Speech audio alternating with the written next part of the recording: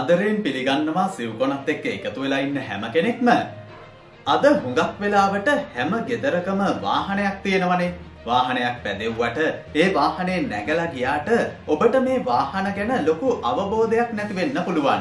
හැබැයි පොඩි හරි දැනීමක් වාහන ගැන තියාගන්න එක හොඳයිනේ නේද?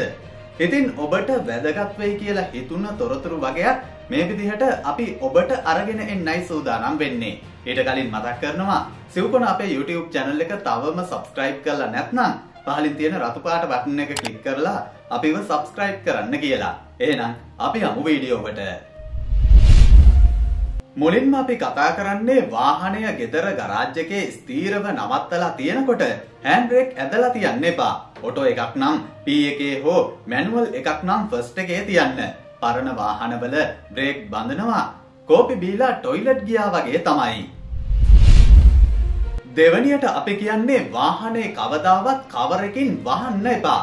ඕවට උණ හෙම්බිරිස්සාව හැදෙන්නේ නෑ. කවරකින් වැැව්වම ඒක පේන්ට් එකට ටච් වෙලා වෙන හානිය වැස්සට තෙමෙනවට වඩා වැඩි. ලංකාවේ මේ කාලේ වහින්නේ ඉතිහාසයේ වැස්සටත් වඩා ධාරානිපාත වැහි. වාහන තද වැස්සේ ධාවනය හැකිතාක් අවම කරන්න.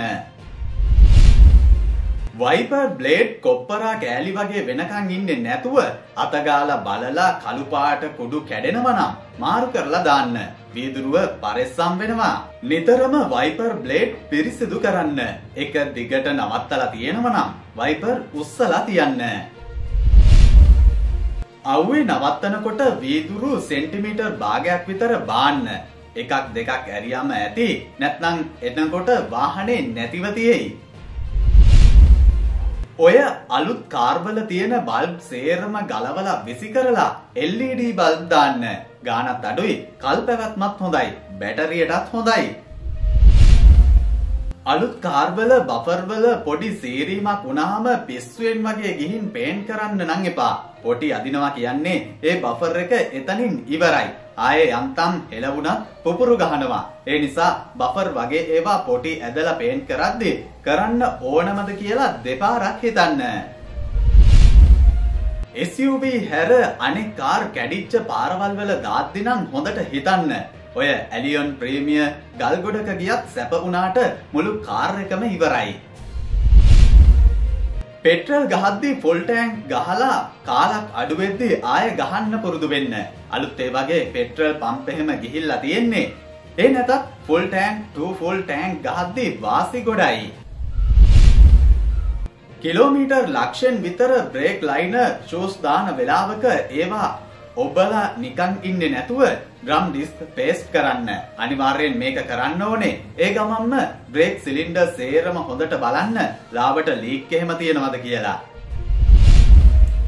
වාහනවල බ්‍රේක් සිලින්ඩරෙන් හුලන් යවද්දී බාස්ලා ඔටුව වගේ නිපල් එකට යතුර තියලා නිකන් කරකනවා නම් ගන්න වීල් බ්‍රෂ් එක අතට අනිවාර්යෙන් නිපල් එකට රබර් බට කෑල්ලක් ගහලා කරන්න කියන්න. ඇලෝ වීල් වල බ්‍රේක් ඔයිල් වෙසි වෙන ඒවා රැඳිලා තිබිලා වැටුනොත් ඉවරයි. අඹ ගස් යට නවත්තන්න එපා. වවුලෝ ඉන්න ගස් යට නවත්තන්නත් එපා. කුරුල්ලෝ ජරා කරන තැන්වල වාහනේ නවත්තන්න එපා. කාර් එක නිතරම යට වදිනවා නම් බේරෙන්නම බැරි නම් ස්පේසර් හතරක් දාන්න.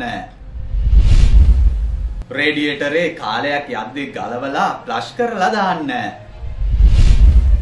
ෆිවස් ගියාම එහෙම බොරුවට සේරම ගලව ගලව බලලා සොකට් බොරුල් කර ගන්න එපා. පෙට්ටිය කවරෙන් බලලා අදාළ ෆිවස් එක විතරක් ගලවලා දාන්න. සර්විස් එකකටම රින්ගන්න එපා වාහනේ හෝදන්න. භූමි තෙල් දාලා අතුල්ලලා හයි ප්‍රෙෂර් ගහනවා කියන්නේ පේන්ට් එක ඉවරයි. කාච හරි බ්ලැක් ඇන්ඩ් එක හරි ප්‍රෙෂර් ගන්න එකක් අරන් ගෙදර වැඩ කරන කෙනෙකුට කියලා හෝදන්න. එහෙම කෙනෙක් නැත්නම් Taman හෝදගන්න. විශේෂයෙන්ම ඇන්ජිම කියන්නේ ඇන්ජිම. ඕක හෝදන්න සුද්ධ කරන්න යන්න එපා. ඔයිල්, ග්‍රීස්, දූවිලි තිබුණාවේ ඒවා තියෙද්දි දුවන්න සුද්ධ කරන්න එපා.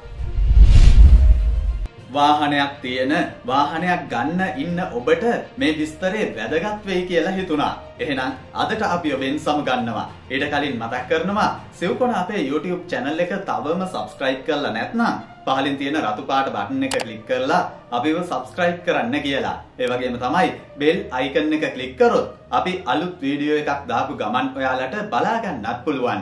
ඔබට සුබ දවසක්.